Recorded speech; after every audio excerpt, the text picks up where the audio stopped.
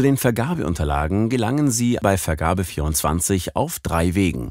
Erstens über die Bestellübersicht, zu der Sie auch über das Dashboard gelangen. Zweitens direkt über den Bestellvorgang. Drittens direkt über die Verknüpfung für das Vergabe24 Beta Cockpit auf dem Desktop.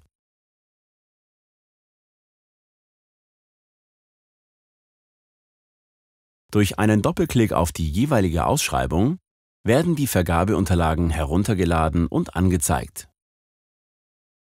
Nach dem Download klicken Sie unter Aktion auf die Auswahl zur Durchsicht bei den entsprechenden Vergabeunterlagen. Die Übersicht öffnet sich. Ihnen werden hier alle Vergabeunterlagen dieser Ausschreibung in einer Lesefassung angezeigt.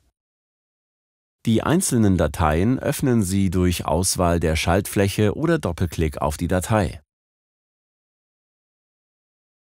Die bereitgestellten Informationen können Sie nun dem jeweiligen Dokument entnehmen.